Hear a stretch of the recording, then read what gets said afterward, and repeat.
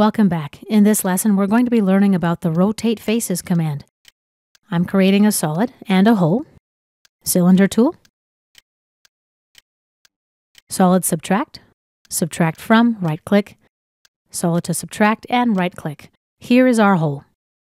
Now let's activate the Rotate Faces command from the Extrude Faces flyout. Select the face to rotate, right click and enter to finish the selection. Now we specify the axis of rotation. Let's select two points, this point, and snap to this point. Now the angle of rotation, 45 degrees, enter to accept, and here is our rotation. Let's undo. Activate the command again. Select the same face, right click and enter. For the axis of rotation, I'll use the same points, but this time I'm going to select them in the opposite order. This point first, and this point second. That's my axis. Angle of rotation, let's say 45 degrees, and press enter.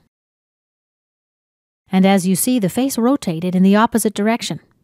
Let's activate the command again. Select this face, the inside of the hole, right click and enter.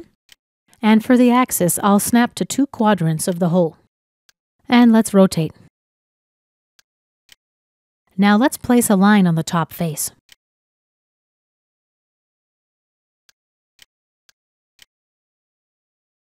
First point and second point. Right click and enter to close the tool. Let's activate the Rotate Faces command again. I'll select this face, right click and enter. Now for the axis, let's right click and select Axis by Object. We'll select our new line. And let's make the rotating angle 10 degrees. Press enter. Let's activate the tool again. Select the same face, right click, and let's use the X axis. Next, we specify the origin of rotation. I'll snap to this endpoint. Rotation angle, 15 degrees. Enter to accept. And here is our rotation. Escape to close the tool. This concludes our tutorial about the Rotate Faces command.